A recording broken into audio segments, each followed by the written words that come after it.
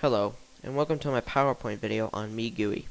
MeGUI is essentially an all-in-one video editing and rendering tool. There are various different tools in which you can use. This program requires AVI Synth, a valid video source, and an AVI Synth script. Once you have your script done, you can import it into the program and then go ahead and encode it. It will encode the audio and video separately to ensure maximum quality and no desyncing. Once you have that script imported, you can go ahead and set up the encoding settings and the format in which you want the output file to be. The same also goes with audio.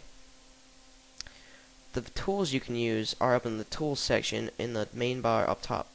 There is an audio cutter all the way down to a VOB subber. Now, the main ones that will help you is AVS Script Creator, which is an AVI Synth script creator, which will help you in cropping the video or just resizing the video altogether. And the output script will be in the third tab to the right, and you can copy and paste that into your original script.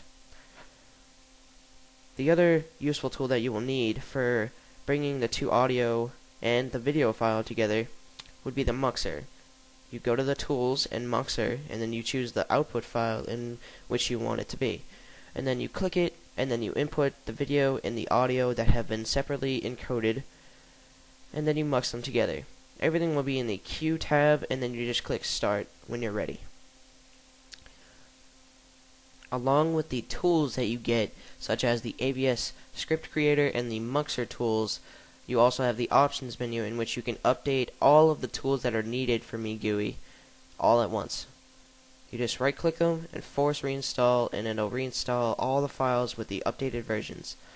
These are just some of the importers with all my presets I have, but I'm not going to do that because I already have them all. Thank you for watching this video and have a nice day.